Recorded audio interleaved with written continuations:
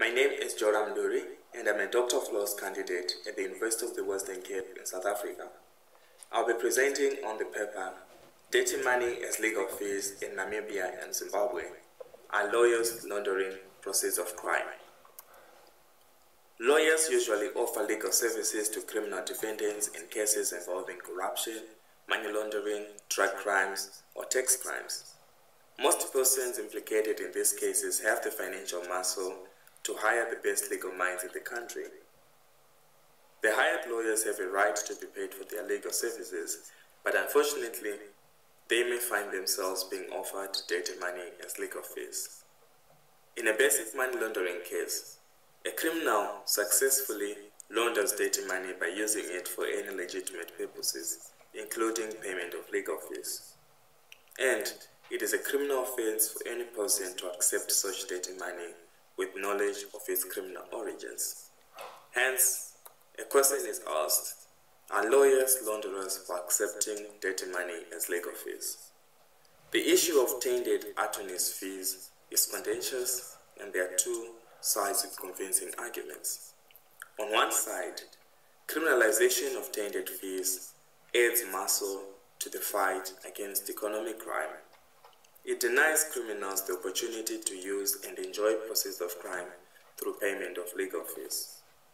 It also denies criminals an unfair advantage to build a strong defense team using dirty money against state prosecutors who are usually under-resourced, particularly in developing countries.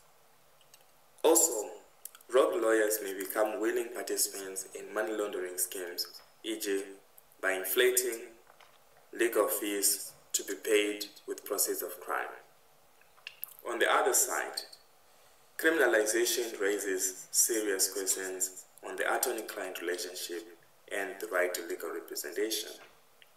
Attorneys may avoid criminal defendants involved in financial crime in, in fear of being offered dirty money and to be prosecuted later. There is a conflict of interest where the attorney's client in avoiding prosecution for accepting dirty money is pitted against the defendant's interest in being represented by an impartial legal counsel.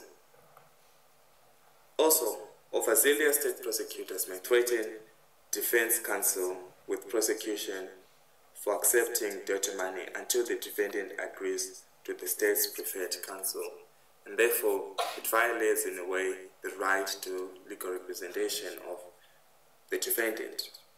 Hence, the issue of tainted attorney's fees is a contentious one and countries have adopted different approaches. In Namibia, the Prevention of Organized Crime Act is the chief money laundering legislation. Sections 2, 4, 5, and 6 include provisions which criminalize the receipt, retention, or use of proceeds of crime with knowledge or when the person ought reasonably to have known of the criminal origins. There are no provisions which allow lawyers to accept dirty money, with the exception of sections 26.1 and section 57.1, which empower the High Court to order payment of reasonable legal fees from restrained or preserved proceeds of crime on condition that the defendant has no other legitimate means to pay for his or her legal fees. In Zimbabwe, the Money Laundering and Proceeds of Crime Act is the main anti-money laundering law. Section 81B and 8.3 criminalize any acquisition, use, or possession of proceeds of crime with knowledge or suspicion of its criminal origins at the time of receipt. Similar to Namibia, legal fees can be paid from dirty money through a court order for payment of reasonable legal fees from interdicted proceeds of crime on the condition that the, the defendant has no other legitimate means to pay for his or her legal fees. Hence, the legal position in Namibians and Zimbabwe is that lawyers cannot accept dirty money as legal fees unless authorized to do so by the court dealing with recovery proceedings relating to dirty money. Interestingly, The court can authorize cleaning of dirty money for the same purposes criminalized by law. In, in comparison to the two countries, the United States' position is that tainted attorney fees are not criminalized. Initially, the Money Laundering Control Act did not exempt tainted legal fees from monetary transactions uh, which were criminalized due to criminally derived property. It was, criminal, it was criticized for its challenge to the attorney-client privilege and to the right to legal representation. As a result, it was amended and now exempts any transaction necessary to preserve a person's right to representation as guaranteed by the Sixth Amendment to the Constitution. However, state authorities in the United States are still not comfortable with acceptance of tainted legal fees with knowledge of such origins. A case of, uh, of reference is the United States against Wales, where an attorney was prosecuted for accepting dirty money from a client. The attorney was acquitted both in the court of call and on appeal, and the, the 11th Circuit held that regardless of the attorney's actual knowledge, the plain language of Section 1957 of the Money Laundering Exempted criminally derived proceeds used to secure legal representation to which an accused was entitled under the Sixth Amendment. Last year, the Department of Justice also showed its intent to still prosecute lawyers for accepting dirty money.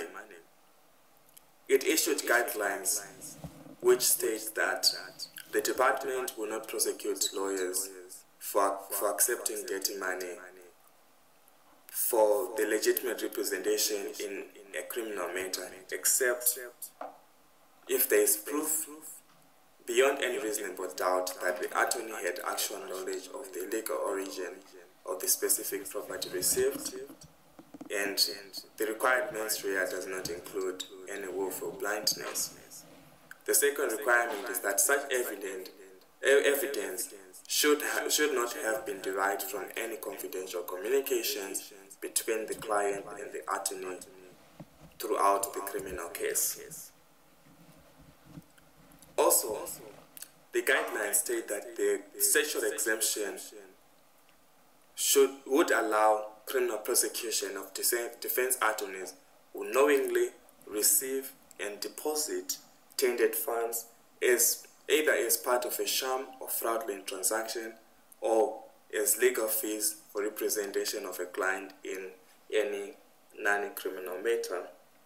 This shows that United States authorities are tightening grounds for exemption from prosecution for accepting dirty money.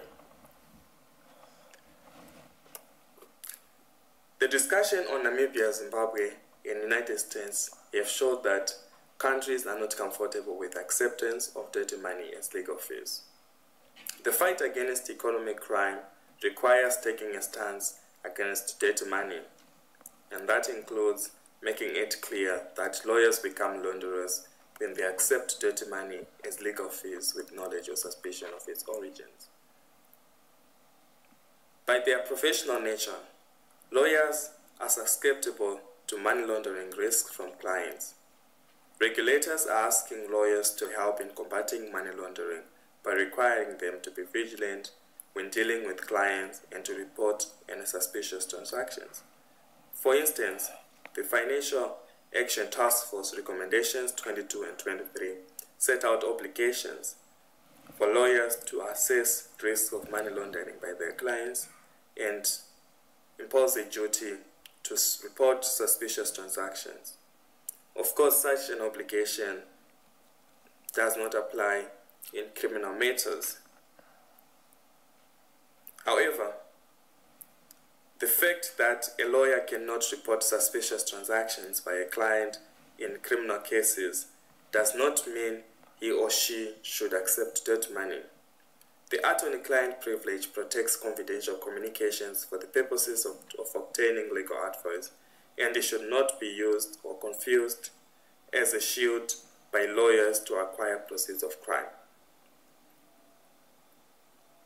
On the issue of the right to legal representation, criminalization of tainted fees does not restrict defendant or defendant from choosing a lawyer, but it restricts the use of dirty money to pay such a lawyer.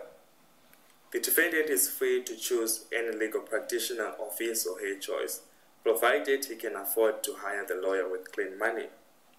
If the defendant cannot afford legal representation on unlegitimate expenses, he or she is guaranteed of the right to be represented by a public defender, just like any other criminal defendant. Also, lawyers are enablers of financial crime, and their involvement with dirty money should not go un un unchecked. Once lawyers are allowed to accept dirty money, it, op it opens up doors for complex money laundering schemes which will contaminate the whole global financial system, where inflated legal fees find their ways to include dirty money which will be laundered as legal fees. In other words, lawyers should not be become willing participants in cleaning of dirty money through payment of legal fees. And it has to be made clear that any lawyer who willingly gets in touch with dirty, with dirty money has dirty hands.